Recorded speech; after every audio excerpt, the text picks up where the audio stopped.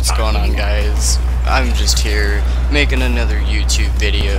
This is where I am destroying Tyreen the Destroyer for a weapon called the Queen's Call.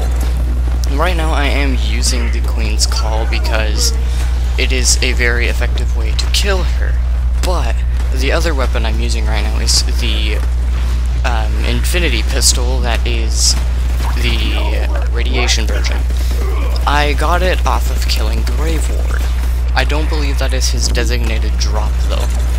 And the reason why is because the way I have built my FL4K is that every critical hit I get, it reduces cooldown rate. And that is why I am using the Infinity Pistol, because it doesn't deal a lot of damage, but it makes my cooldown rate a little bit better. And this is how you're going to get the Queen's Call, because she is apparently God Queen Tyreen, and that is usually what happens when you kill a, a queen or a king, you get their weapon, and I was doing this earlier and I was able to get something called a King's Call, which is just another variant of the Queen's Call, but mine is Shock. I do not know if there are others. I hope there are, and I am just trying to get one of every element so I can use it on many different things.